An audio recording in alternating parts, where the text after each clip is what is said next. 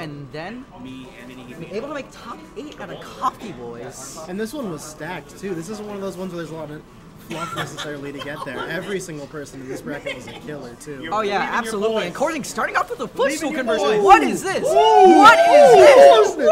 What is this? Let's go, Corsi! Nah, let's go. Not Tom. able to con- not able to convert after that, but a solid I see you, young 38%. Corezink being very young, I think 16, 15, still in high school, just like the young I Theta commentating for Don't let him in your head.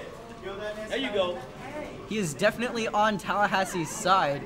Ryo getting a lot of damage on here. Try- and really holding out the neutral, keeping Corezink in this disadvantaged state, and Corezink trying to come back onto stage, but Ryo keeping him at bay on the ledge.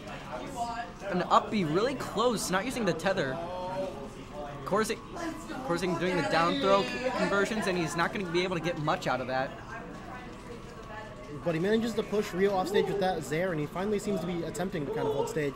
This also seems like one of those matchups where Lucas just kind of gives up the stage a lot to not get Yeah, Hey, Lucas gives up the stage left to not get slapped, slapped right out of the air. except except Ike is so good at catching you in the air or anywhere and just keeping you away with those large, powerful hitboxes.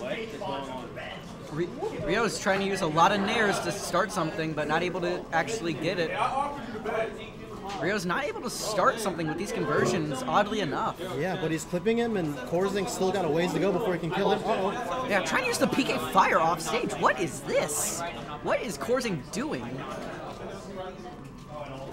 Does Corezink normally try to edge guard with PK Fire? Or is Corezink this- normally does not do that, which is why I was pointing it out.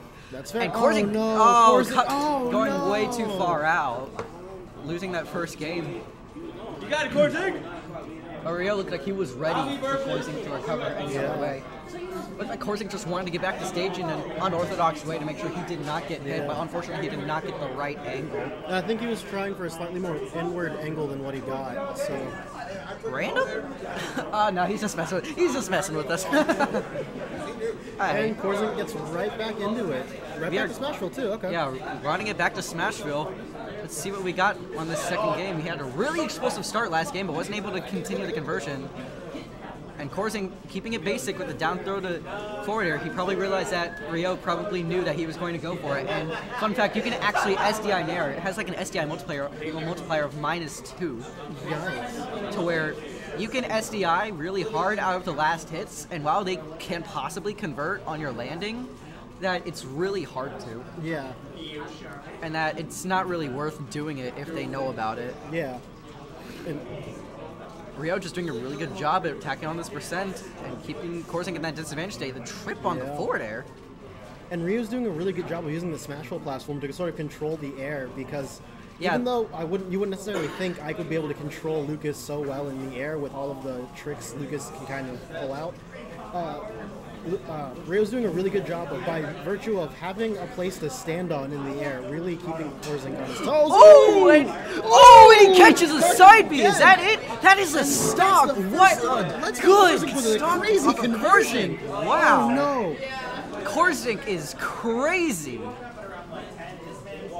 Trying to land with the back air, not a very safe move, and Ryo could try and punish it, not going to be able to take the stock with that conversion because it wasn't true. Corezink going to recover low this time, and Ryo's just going to go for the edge trap. And Ryo's Corezink right where he wants him. Oh. meaty, meaty up tilts. The big, meaty up tilts. Able to take that first stock off of Yeah, Corezink. that was a gross up tilt too. I think Corezink could even tried a tournament winner just get out of there, and it was nothing was fast enough.